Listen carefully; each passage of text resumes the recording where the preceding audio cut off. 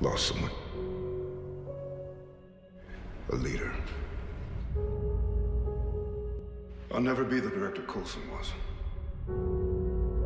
But we can save other lives. And that's what we're gonna do. I tried so hard and got so far. Home.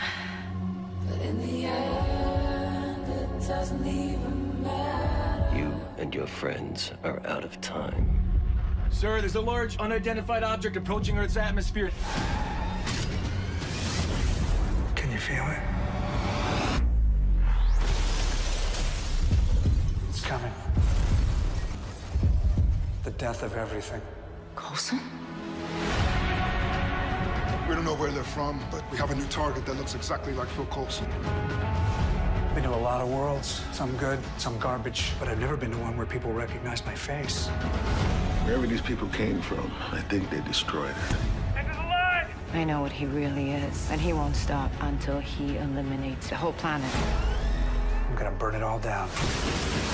Well, that sounds reasonable. New plan. We fight. Let's do this. The person that is in there is not the man that you loved. I've been looking all over for you. Let them come. Who's gonna protect me? Is Daisy coming? Or Santa? Okay, let's roll! Okay.